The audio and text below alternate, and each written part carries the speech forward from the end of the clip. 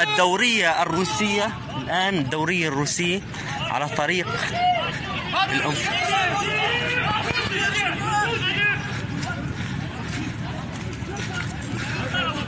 هذا الروسي والله.